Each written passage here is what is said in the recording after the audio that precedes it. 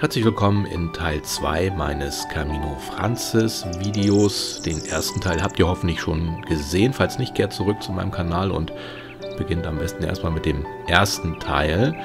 Hier geht es nämlich um die Fortsetzung der Reise ab Atapuerca. Ja, ihr habt es vielleicht am Anfang gesehen, ähm, ich habe diesen Teil den Andy gewidmet. Andy, den habt ihr im ersten Teil vielleicht gesehen, ist der Macher der äh, Camino Ninja App gewesen. Und wie ich erfahren musste, ist er kurz nach unserem Treffen leider viel zu früh verstorben auf dem Camino Frances. Sehr tragisch, erst 49 Jahre alt, aber so ist das Leben.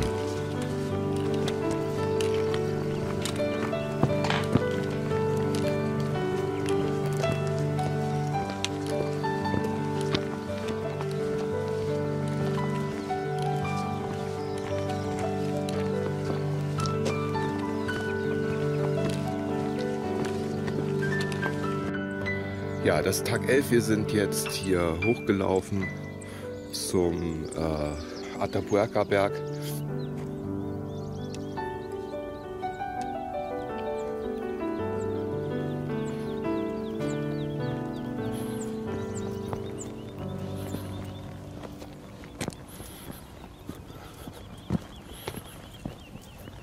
Ich bin heute wirklich schlecht zu Fuß. Meine Blasen tun tierisch weh. Hm. Bisschen Schwierigkeiten hier. Bisschen Schwierigkeiten hier heute mit meinem Ungarn mitzuhalten. Sind zwar nur 20 Kilometer heute, aber tut trotzdem weh.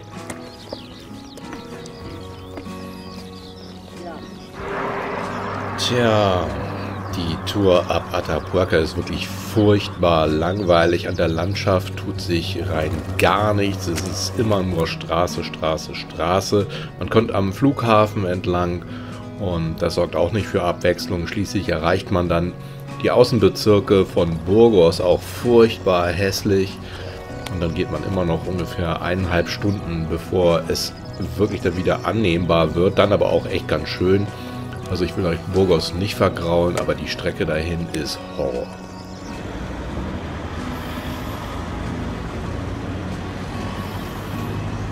There must be some symbolic milestone. And one is just a national road, right?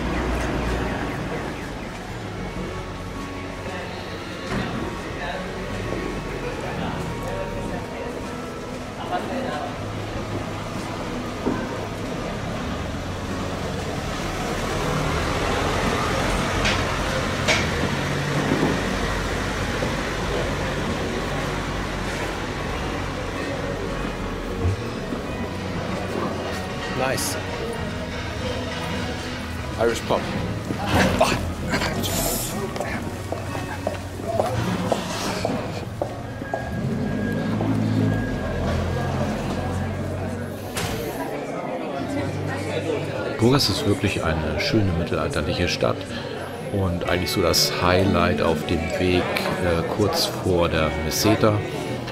Unbedingt sehen sollte man natürlich die Kathedrale, obwohl man im Hinterkopf behalten sollte, die ist natürlich nicht mehr so richtig in Gebrauch, sondern mehr ein touristisches Highlight. Aber trotzdem sehr intensiv da mal reinzugehen, würde ich doch unbedingt empfehlen.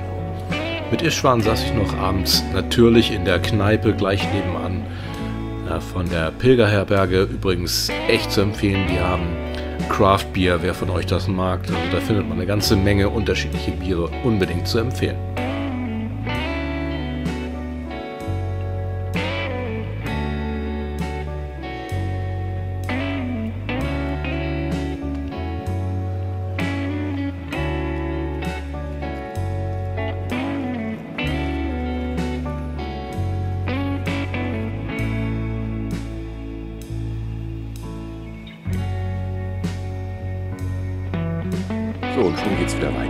Ziel ist äh, Sunball. Sun, in Sunball habe ich tatsächlich auch äh, reserviert, eine ganz kleine Herberge mit 10, 11 Plätzen. Und äh, ja, ich war jetzt zwei Tage mit dem äh, Istvan aus, äh, aus Ungarn unterwegs. Und es ist irgendwie auf dem Camino.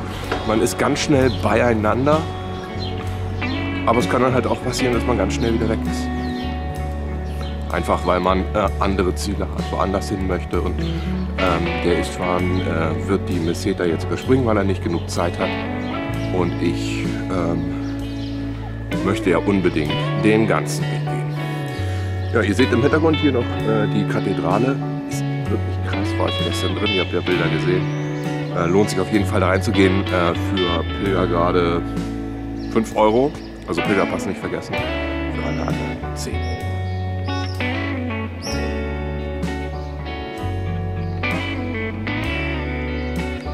bin jetzt in der Tabardechos, glaube ich, wenn ich es richtig ausspreche.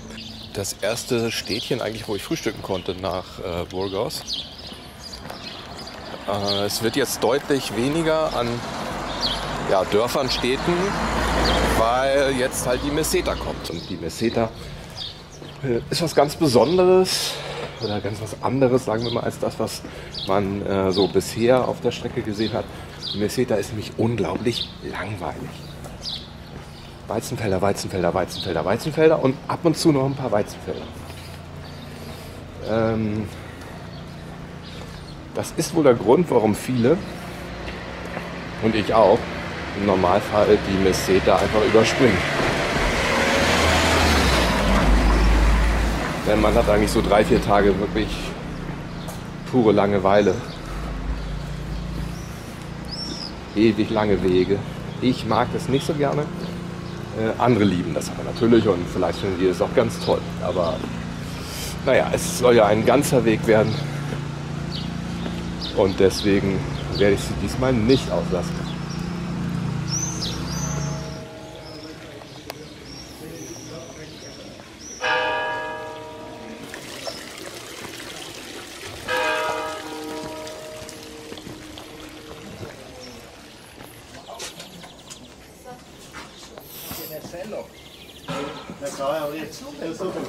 Hier unterwegs, äh, gar nicht so weit weg von Burgos, eine süße kleine Kirche.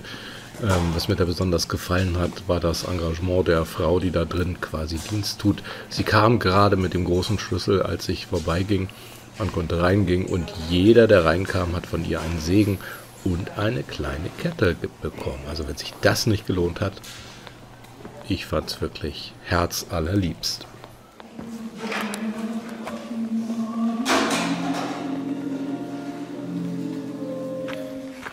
Ja, Meseta. Heiß. Langweilig.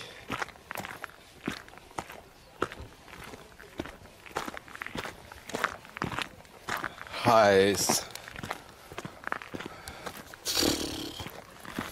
Also heute ist wirklich ziemlich heiß.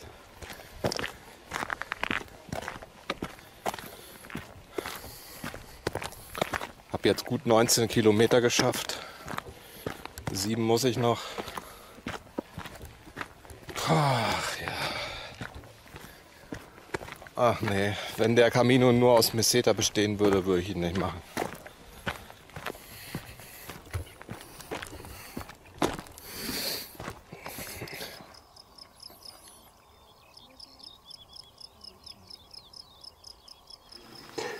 Bin heute von äh, Burgos aus losgelaufen. Es waren ungefähr 26, äh, 27 Kilometer durch die Meseta nach San Bol. San Bol ist eine kleine Herberge, gehört nicht gerade zu den Hauptorten, also da, wo die Massen äh, absteigen, äh, bin ich jetzt gerade nicht. Hier passen 10, 12 Leute rein. Äh, sehr nette, angenehme Herberge mit netten äh, Hospitaleros. Und gegessen wird auch gemeinsam. Gekocht glücklicherweise nicht. Ich habe also Zeit und kann hier in, der, ähm, in dem Garten abhängen. Da oben seht ihr auch eine kleine Quelle, die gehört hier quasi zu dem Areal. Ähm, sonst ist die Meseta ja eher langweilig. Also zu meinen Favoriten gehört das ähm, die Umgebung nicht. Ähm, es ist zwar grün, weil jetzt im Mai natürlich, aber äh, heute waren 33, 34 Grad und da ist das echt die Hölle, weil du hast halt gar keinen Schatten und nichts. Ne? Und ähm, da wird es dann doch ein bisschen anstrengend auf Dauer. Meinen Blasen geht es äh, etwas äh, besser, äh, langsam heilt es ab. Ähm, das, ich kann machen, was ich will, 19 Caminos und trotzdem eingecremt, äh, doppelte Socken, was weiß ich nicht alles. Ich habe mich an meine eigenen Tipps gehalten, aber trotzdem habe ich Blasen. Liegt halt daran, wenn es sehr heiß ist und du mit Wanderstiefeln rumläufst, ja, passiert das halt mal. Ne? Das ist wohl, glaube ich, nicht so richtig zu verhindern. Ähm, ich werde jetzt hier noch äh, eine Runde abhängen, äh, dem der Quelle beim Plätschern zuhören und irgendwann äh, ruft der Master sicherlich zum Essen und da werde ich mich dann hinbegeben. Morgen geht es dann äh, äh, noch auf eine etwas weitere Strecke, 33 Kilometer in etwa. Wohin habe ich schon wieder vergessen, aber weiter durch die Meseta. Das bleibt dann jetzt so ein paar Tage so, bis dann so ab Leon langsam sich die Landschaft wieder verändert.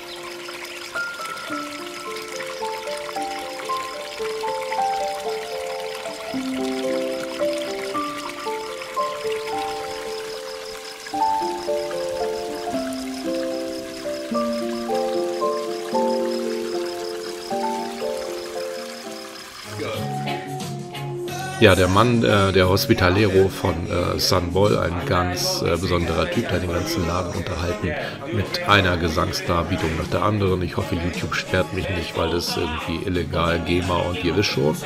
Aber ein paar Einblicke wollte ich euch trotzdem geben.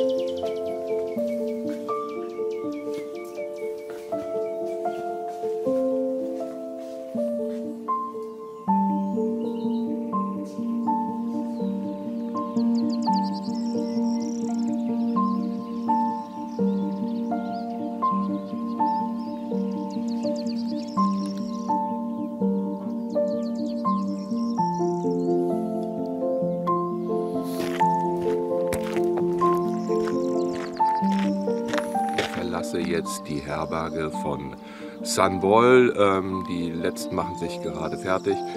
Und ja, der Herbergsvater ist übrigens am Abend äh, weggefahren. Hat gesagt, hier ist der Schlüssel, morgen der letzte, packt ihn dann bitte in den Briefkasten. Es sind jetzt auch schon wirklich fast alle weg. Die Sonne geht in wenigen Minuten über den Hügeln auf hier. Ja, heute 33 Kilometer immer noch nicht rausgefunden, wie das Dorf heißt, wo ich eigentlich hin will. Ähm, hätte vielleicht auch ein bisschen früher aufstehen müssen, weil es sicherlich auch heute wieder ein heißer Tag wird, aber das wird schon. Der nächste Ort, fünf Kilometer entfernt, da gibt es dann erstmal hoffentlich einen Kaffee.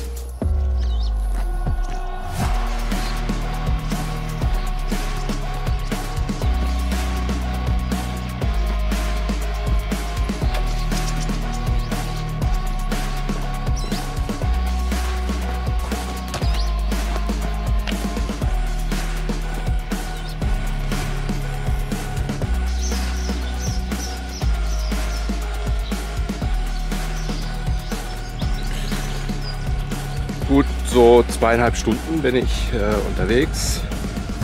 Knapp über 10 Kilometer geschafft. Es ist glücklicherweise noch auszuhalten mit der Temperatur.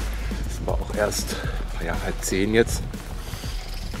Ähm, ja, ich habe ja schon viel abgezetert jetzt über die Meseta. Aber ähm, bisher ist die Strecke eigentlich ganz nett. Ich war ja zum letzten Mal wirklich, also, okay, ganz ehrlich, ich war nur einmal in der Meseta auf allen meinen Reisen, weil äh, die mich beim ersten Mal halt so angekotzt hat. Entschuldigung, weil sie mich beim ersten Mal nicht so angesprochen hat. Und hatte es schon ein bisschen anders in Erinnerung.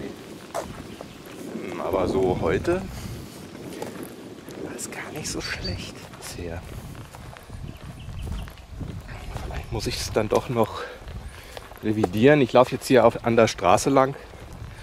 Es gibt äh, tatsächlich auch mal ein paar Bäume und ja eigentlich ganz, ganz nett bisher.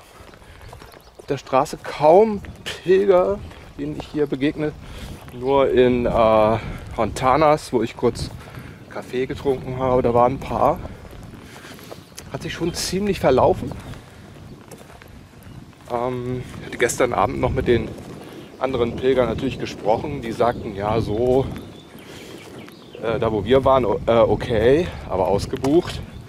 Nächstes Dorf komplett ausgebucht, mehrere Herbergen.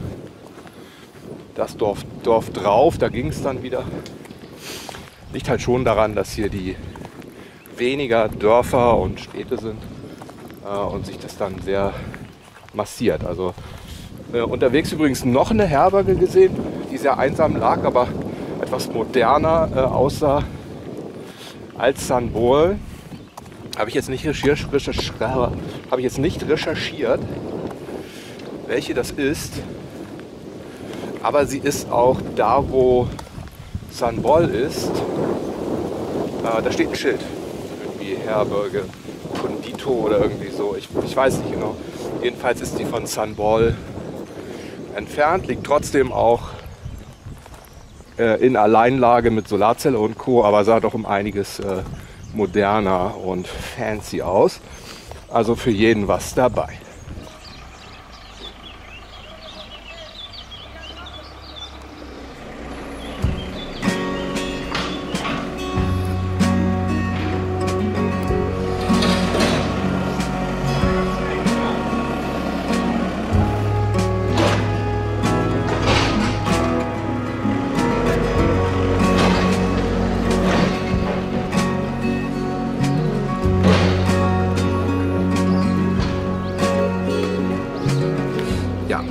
Hinter äh, seht ihr die, äh, hier hinter mir seht ihr die äh, Ruinen.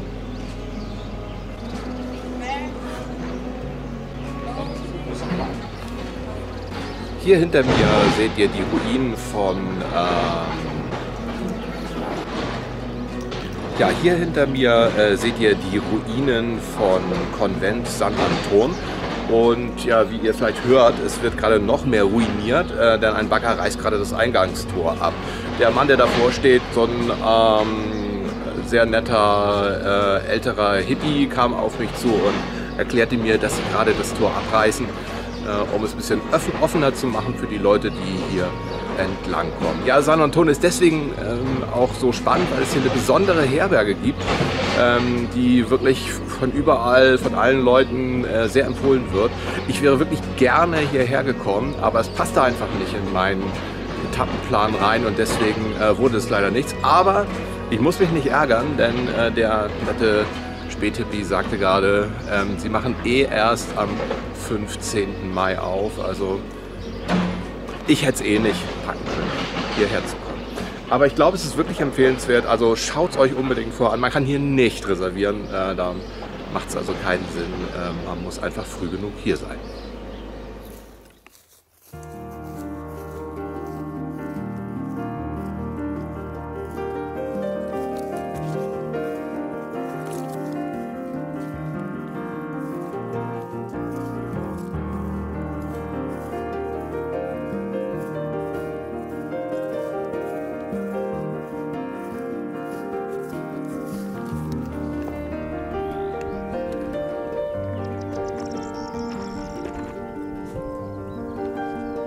Kurz hinter San Anton kommt dann nach einer ewig langen, flachen Strecke tatsächlich ein Aufstieg. Man rennt also eine ganze Weile den Berg hoch, was bei diesen Temperaturen echt Horror war, aber auch den Berg schafft man wie jeden anderen.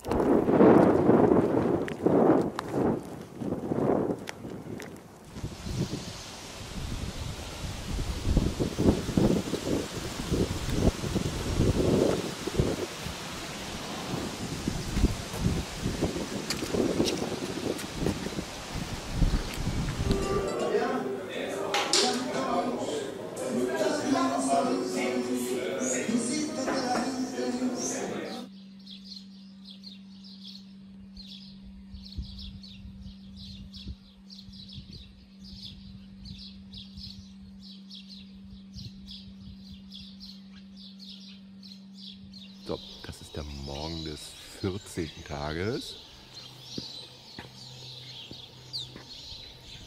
Mal hier mein kongenialer Partner Dominik, mit dem ich unterwegs bin heute. Hier die wunderbare Kirche. Und wir sind in Boadilla del Camino. Und jetzt geht's los bei heute etwas bewölktem Himmel.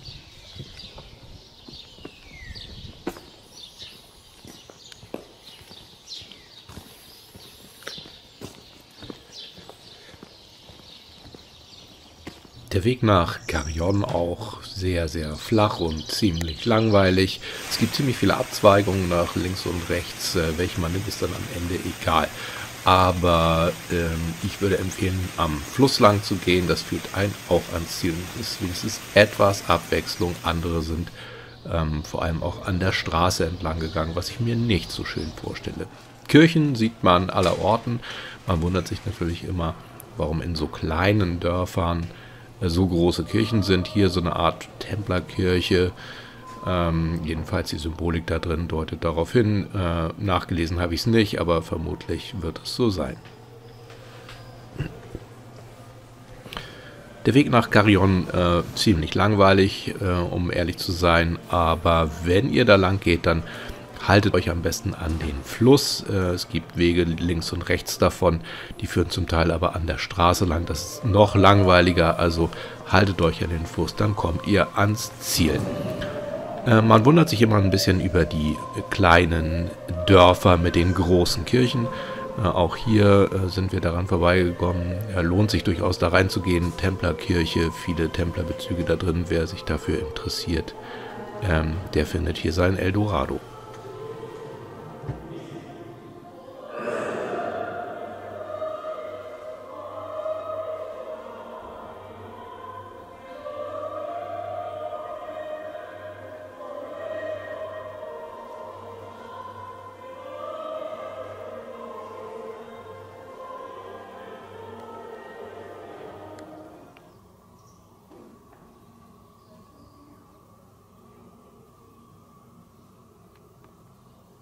So, es ist der 15. Tag heute.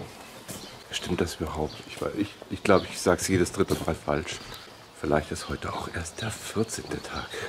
Jedenfalls, äh, es ist der Morgen und äh, ich mache mich gerade auf aus Carrion de los Condes. Und ähm, ja, es hat gestern Nachmittag noch äh, recht viel geregnet. Äh, jetzt hat es aber aufgeklärt und kühl. Sieht aber nicht aus, als wäre es jetzt heute eher Regen zu erwarten.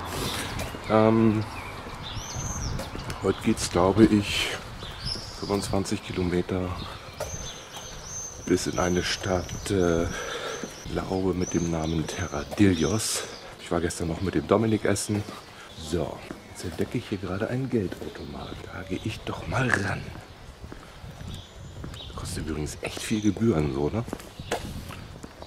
5 Euro sind nix.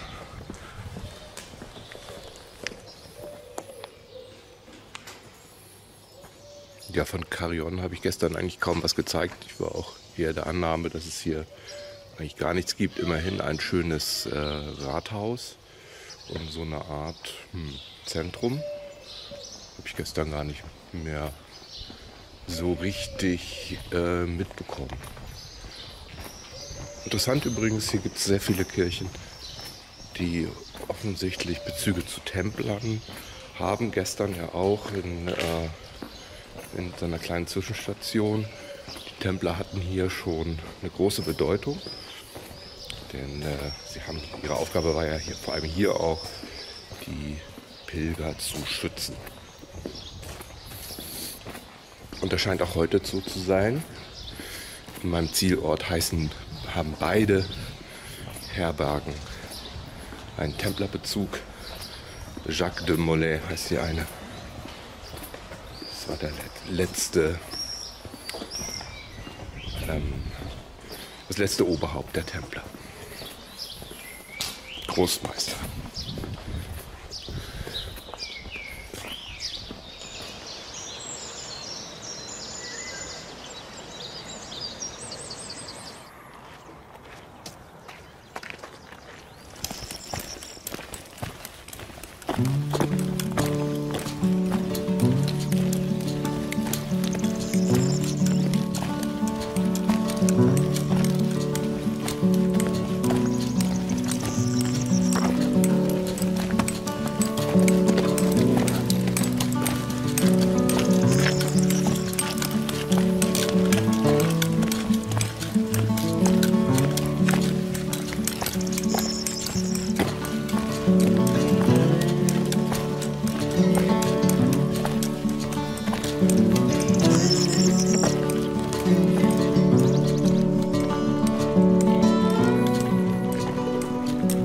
Also Leute, jetzt noch mal ehrlich, ne? Da Scheiße. So langweilig. Ja, ich weiß. Am Anfang abgezetert. Dann war es doch nicht so schlecht. Aber gestern und heute Langweilig. Langweilig. Alles flach, gerade. Ne. Nix für mich.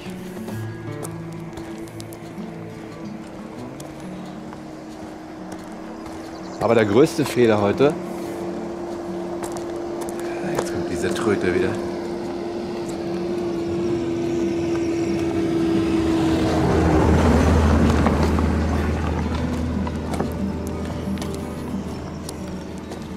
Größte Fehler heute, heute Morgen, kein Kaffee. Dachte ich so, na, nimmst du im nächsten Dorf. Ja, nächstes Dorf 17 Kilometer, ne? Nee, ohne Kaffee komme ich einfach nicht aufs Pferd.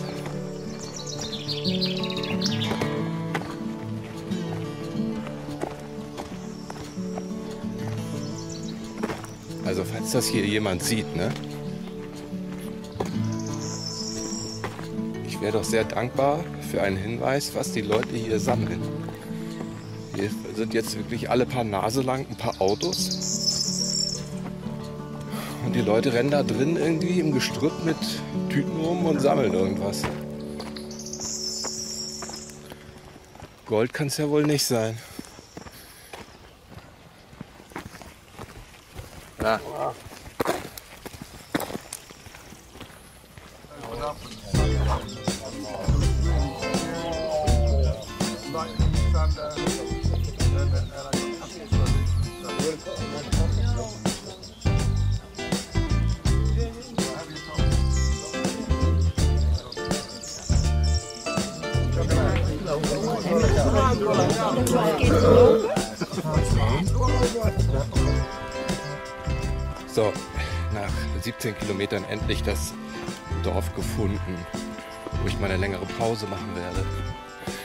Zwischendurch ja der Food Truck, den ihr eben gesehen habt.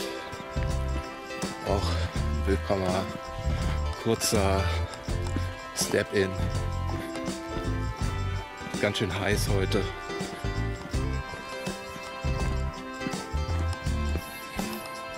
Muss mich auch gleich erstmal wieder in die kurze Hose packen. Ja, bei meiner äh, kleinen Pause in diesem Städtchen hier, dessen Namen ich schon wieder vergessen habe, habe ich jetzt wirklich herausgefunden, dass fast alle meine Begleiter wirklich krank sind. Ähm, alle mit Magen-Darm-Problemen. Genau das, was man haben möchte auf dem Camino. Ähm, echt erstaunlich. Auch beim Foodtruck hat mir der Mann erzählt, dass es hier in der Gegend üblich oder häufiger vorkommt. Vielleicht liegt es auch am Wasser, man weiß es nicht. Also hier nur der Hinweis, vielleicht etwas vorsichtig sein. Vor allem an öffentlichen Wasserquellen.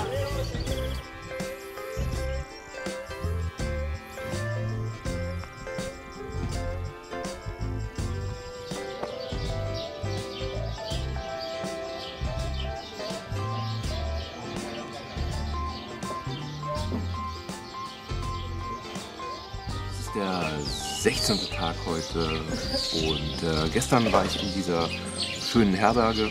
Von außen vielleicht gar nicht so schön, aber von äh, innen sehr hübsch eingerichtet. Gestern war der ähm, ein Freitag der 13. Äh, ganz passend übrigens, denn diese Herberge heißt äh, Alberg Jacques de Molay. Jacques de Molay war der letzte Großmeister der Templer und die wurden eben an einem Freitag, dem 13. verhaftet, nämlich vom französischen König und seinen Schergen. Ja, ähm, gestern habe ich noch ein bisschen rumgerätselt wegen meiner äh, Etappen, wo es denn nun hingehen soll. Ähm, ich habe ewig versucht, bei einer Herberge anzurufen, keine Chance, ähm, ging keiner ran. Und ähm, da es halt wirklich sehr, sehr voll ist, ähm, habe ich mich jetzt entschieden, die Etappe noch etwas anders zu verteilen, sodass ich am 16. in äh, Leon bin. Das passt äh, so, wie es ist, trotzdem. Wetter heute etwas kühler, leicht bewölkt. Äh, hier machen sich die letzten Leute fertig. Was übrigens ähm, ganz interessant ist, ich stelle schon fest, dass diese, dieser Transport von Gepäck eine echte Mode geworden ist auf dem Camino. Immer mehr Menschen lassen ihre Rucksäcke transportieren. Ich will da auch gar nicht drüber urteilen. Ich glaube einfach, für viele Menschen, die es sonst nicht könnten, ist es eine ganz gute Möglichkeit, das zu tun.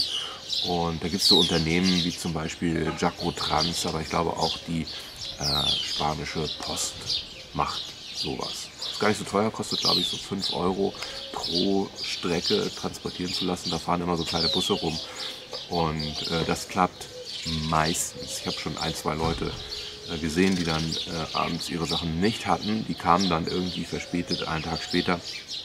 Das ist natürlich doof dann, also die Zahnbürste vielleicht lieber ins Handgepäck packen.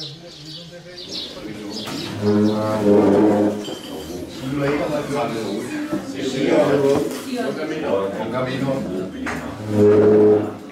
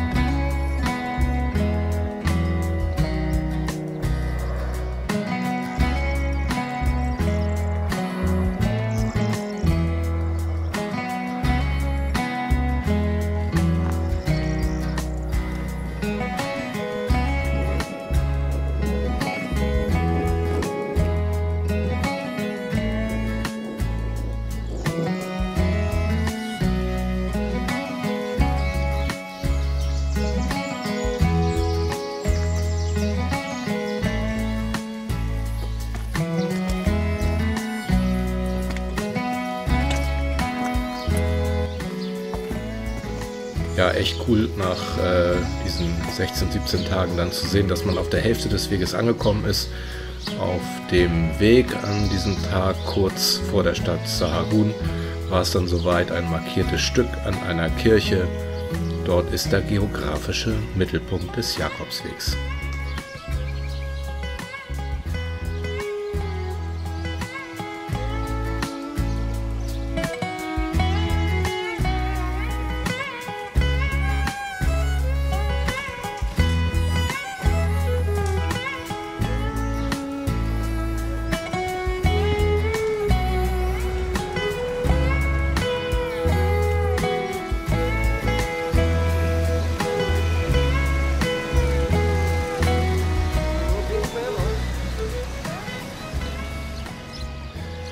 Ja, einer der wenigen Orte, durch die ich heute komme. Calzada de Coto oder Coto de Calzada, ich weiß nicht genau. Jedenfalls ist es so die Definition von Trostlosigkeit, würde ich sagen. Also es ist wirklich ein scheußlicher Ort. Falls ihr irgendwo übernachten wollt. Ich glaube, hier fressen sie nachts Menschen. Hier wäre ich vorsichtig.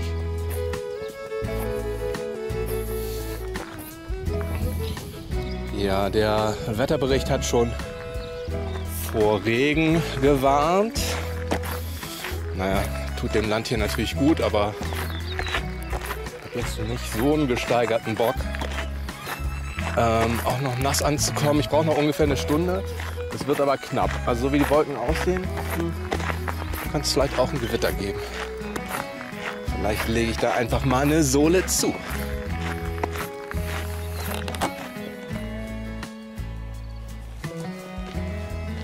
So, guten Morgen an diesem herrlich kühlen 17. Pilgertag. Und sich Menschen immer darüber beschwert, dass ich immer Wandertag gesagt habe. Nein, es ist ja eine Pilgerreise und deswegen ist es ein Pilgertag.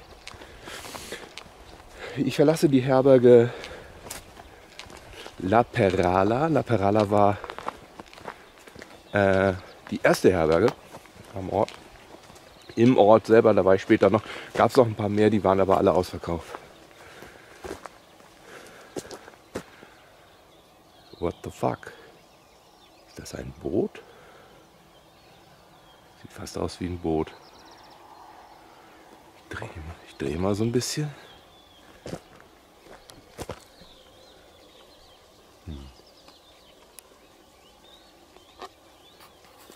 Schiff. Vielleicht bin ich aber auch einfach nur irre. Sieht aus, als hätte man ein altes Schiff dahingestellt. Naja, stimmt vielleicht. Die Herberge jedenfalls äh, groß und sehr, sehr sauber. Ein Bad in jedem Viererzimmer. Gegen Schnarcher können die natürlich auch nichts ausrichten.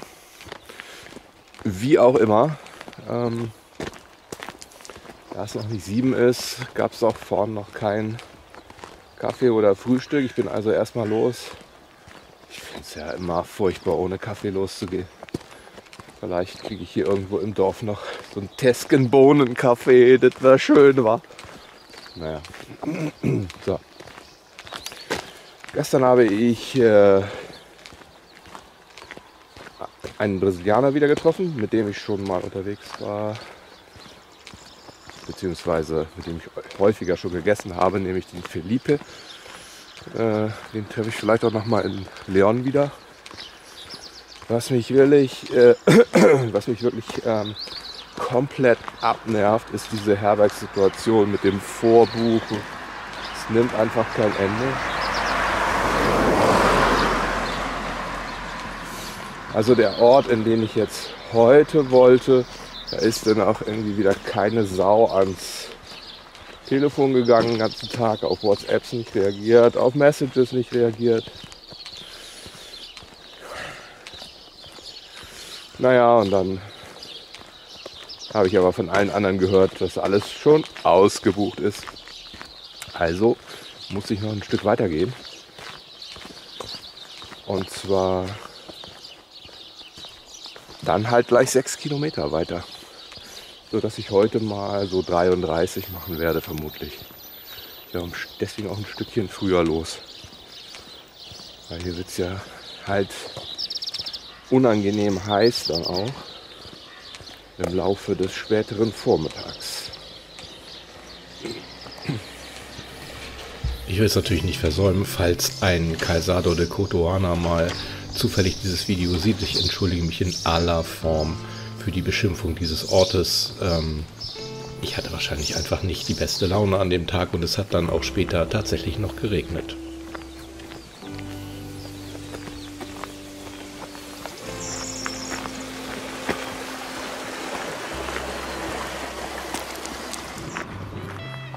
Das ist jetzt das erste Mal seit Tagen, dass es mal wieder sowas wie Wald gibt. Alles andere war flach. Felder, Felder, Felder. Heute wirklich extrem flach die ganze Zeit noch. Kommen wir vor wie an der Dithmarschen in Norddeutschland. Aber da irgendwie jetzt eine größere Waldstrecke und dahinter offenbar auch.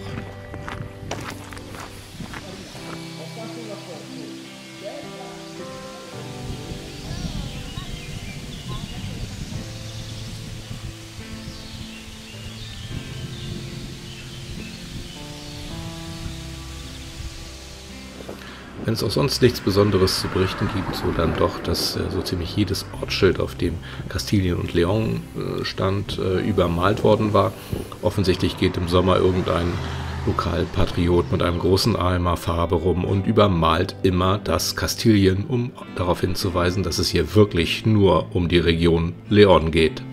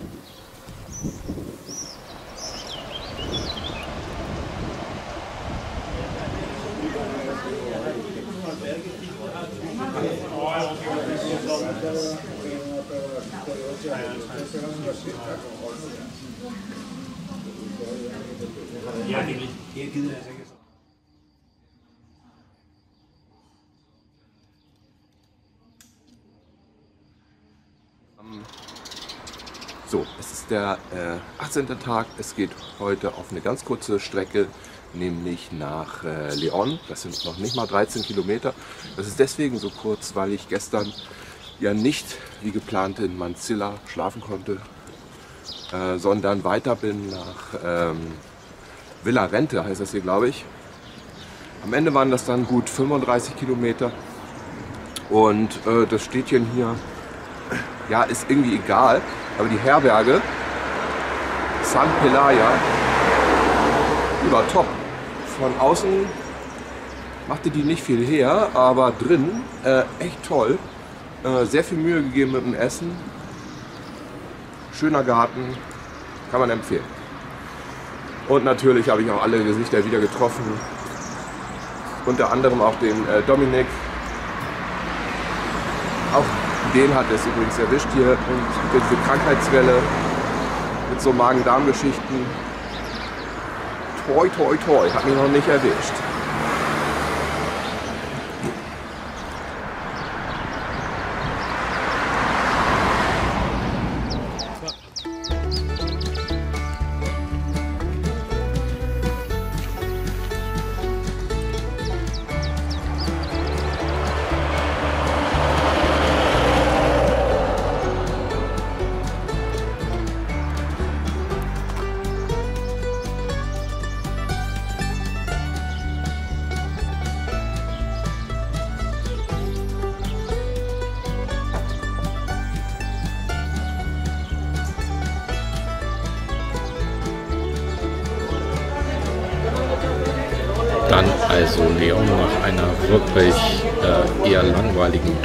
Bis dorthin ändert sich dann nun äh, wirklich alles. Leon, eine wirklich schöne Stadt, eine lebendige Stadt, die pulsiert und ist ein echter Kontrast zur, sage ich mal, gemäßigten Langeweile, die man davor die Tage erlebt hat. Und ab da wird dann auch die Strecke wieder schöner.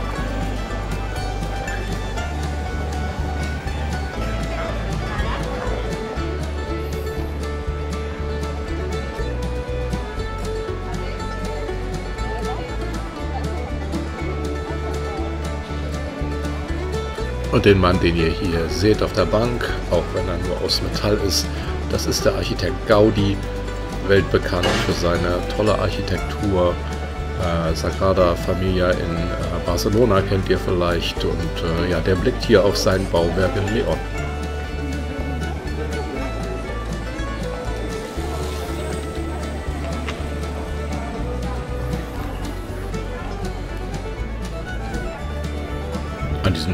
Ich auch nur schlappe 14 Kilometer gegangen, also fast gar nichts. Ich war schon weit vorm Mittag da, aber ich wollte unbedingt da bleiben, äh, weil ich Leon wirklich ganz gerne mag und die Stadt auch schon ein paar Mal gesehen habe. Und am Abend habe ich da auch so einige von meinen Mitpilgern getroffen.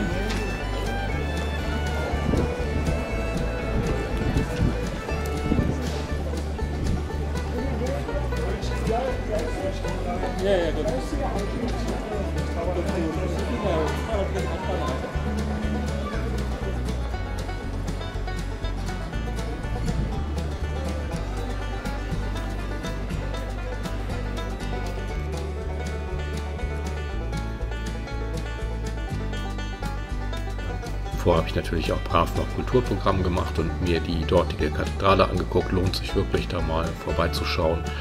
Ja, aber ich weiß, am Ende sind es irgendwie Kirchen. Auf dem Video wirkt das nicht so, aber wenn man dann wirklich da ist, sollte man sich nicht entgehen lassen.